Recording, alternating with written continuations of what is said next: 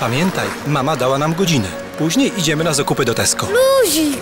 Poczekaj, poczekaj! O, przepraszam! Tato! Mieliśmy jechać na zakupy. Oczywiście!